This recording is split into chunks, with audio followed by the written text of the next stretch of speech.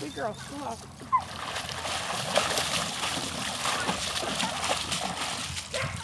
The glare, a loser in the glare. I see. That's what I told her. Is the is so bad you can't tell what you're filming.